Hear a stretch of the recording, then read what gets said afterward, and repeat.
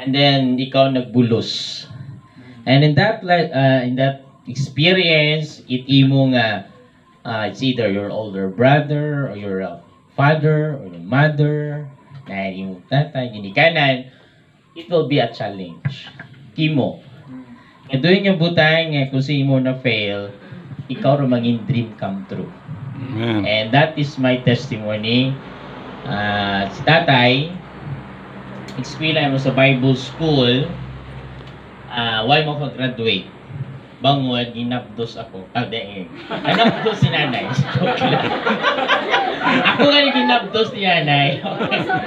that, gawa, ah, da, da, da. Dati si tatay gawali.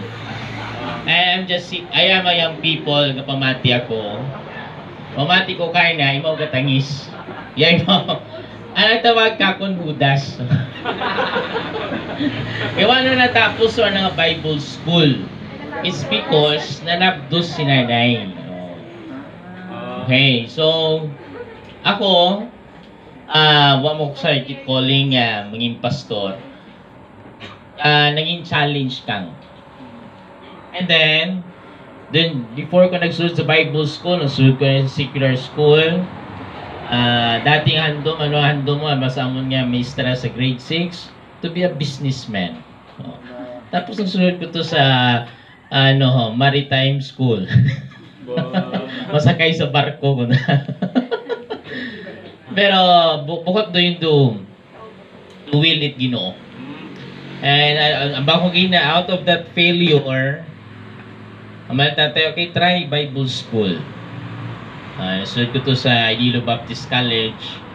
And, um, okay, and, uh, abong challenge. And then yun eh, okay na, bali pa sa Chagan, abong challenge. No, you, that failure of that someone, kung kita nimo do failure isang katawo, and makita nimo nga doon nga butang kung himuon nimo and it will be mag maging come true sa imo nga kabuhi it will be a challenge to him kung dati si tatay is preaching and listening there ako makor ako gawali imaw man da pamati okay. pero preacher man gihapon imaw and uh, nagpagtindog imaw ita ng simbahan. One time nagito na yung inay mga church building sa place ni, ni nanay. Wa na wa nagtapos. Nag-backslide. Okay. And then uh, dato din nag, nag- nag-school sa Bible school nag-ministry kami ito sa amon akon nga place sa San Joaquin pero akong birthplace sa Haniway and then um, di ako effective si Pastor uh, uh, Gilbert effective mo sa lugar kung sa Inimaw ginunga in his own home place pero ako bukon. So, nag-minister ito, ma- market preaching, Bible study. Andom ni tay, tatay, gusto na kami kaibahan mag-ministry. Pero bukon it, uh, siguro doon do gusto it Diyos. And then I took the challenge here. Oh, yes, Aklan. Oh, Siyempre, una nga, nga handom, hindi lang nga mga dito to magbuyot it simbahan. Ano ba? Siyempre yes, mga marching. mga sawa.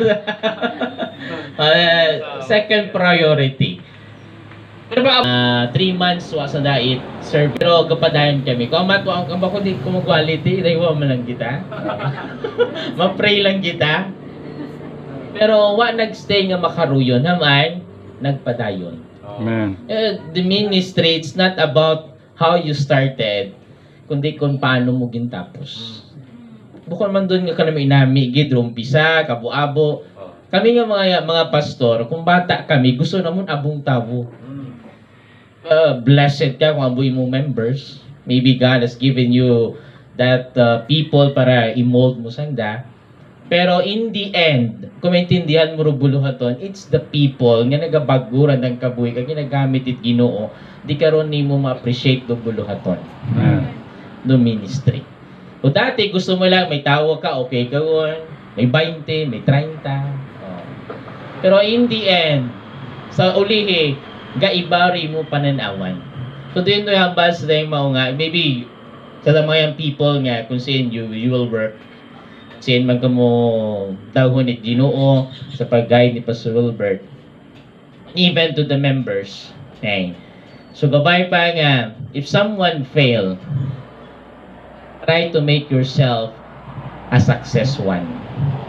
Kung may na-fail, hindi niyo pagdugangi pa. Maging successful ka.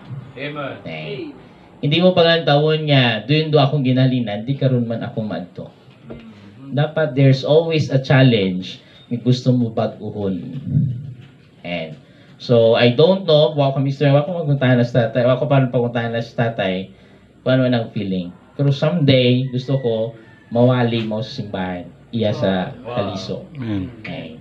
Hintay. Yan na naabot. Uh, that, that's a challenge for me. Uh, and uh, it's always been a ble- it's always been a blessing nga tama man ang bali Pastor Chagan and everything nga giniubra mo we have different kinds of blessings in accordance kung paano ka nagtrabaho kung paano ka naging matutong and padayon ka lang Although the word ah kung si Senator uh, Cynthia Villar naghambal pero mga Pilipino abong ideya abong ginumpisahan pero ang problema mga na kung paano isustinar to sustainable to sustain sustainability. Kung paano i-sustain ba yun nga buluhaton bisan ganin nag-umpisa ka pa bisan ganin na na, na, na, napundar mo gon? It's it's about how to sustain those things nga na napundar mo ginpadayon mo hasta nga matapos mo. And di karon kita guro ang bawat Ginoo nga thou good and faithful servant. Because you've been faithful. Kung si Pastor Chagan pumunta na ako itiyang Pastor ano do diferensya sa loyalty and faithfulness? Mako mas nami nga faithful ka kaysa sa loyal. Because loyalty kung loyal ka lang sometimes imo heart bagag mind basi mapalayo pa pero kung tutom ka even it is a bad weather that will come bisan man ako ayro panahon still you are there because why? You are faithful. So gabay nga pero katutong